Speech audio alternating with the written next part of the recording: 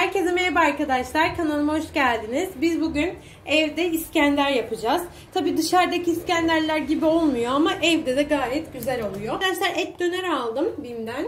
E, bir paket yeterli olur diye. Şöyle bir pakette pidem var arkadaşlar. Biraz pidem bayat. Hem de bayat pideleri de değerlendirelim istedik. Büyük olasılık bu pidenin hepsini yapmam çünkü fazla gelir bize. Yarım pide yeterli olur diye düşünüyorum. Şimdi öncelikle arkadaşlar pideleri küp küp doğrayacağız ve fırına vereceğiz bu pideleri. Sonra fırından aldıktan sonra üzerine salçalı sos dökeceğim. Sonra ise dönerini, tereyağısını, yoğurdunu ekleyeceğim ve güzel bir İskender yapacağız evde.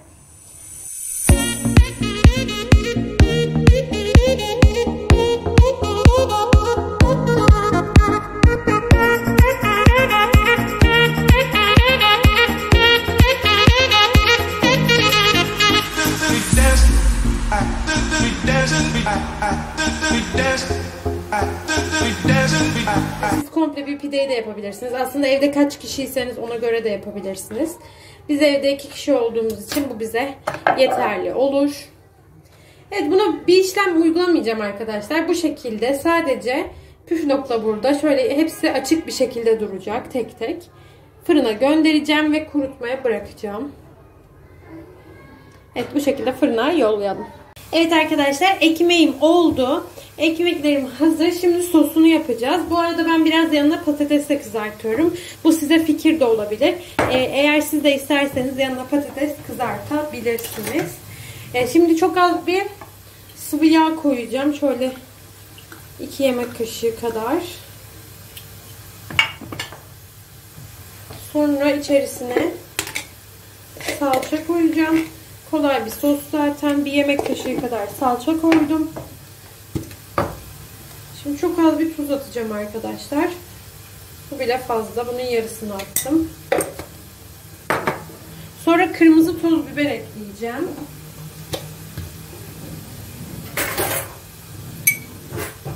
Şöyle bir çay kaşığı. Başka bir şey zaten eklemeyeceğim. Şimdi ocağa alıp salçayı güzelce kavuralım. Şimdi salçam güzelce kavrulacak. Zaten az bir şey salça koydum. Çok değil. Evet arkadaşlar salçam kavruldu. Suyu ekliyorum. Şöyle bir bardak kadar su ekledim. Dediğim gibi bu zaten sizin e, evde kaç kişi olmanızla alakalı. Arttırabilirsiniz bunu.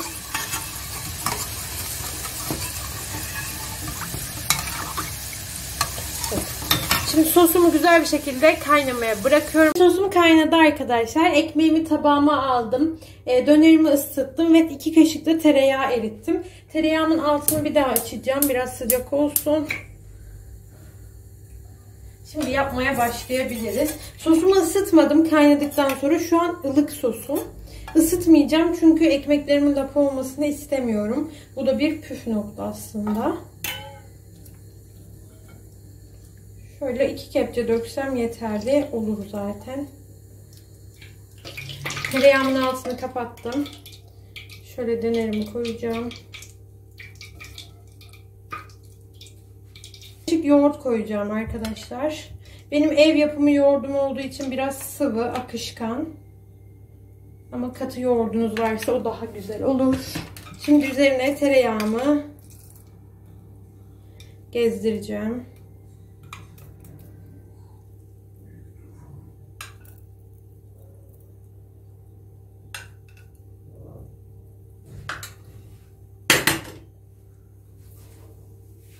Evet şöyle yanına da bir adet közlenmiş biberimi de koyacağım. Bu şekilde oldu.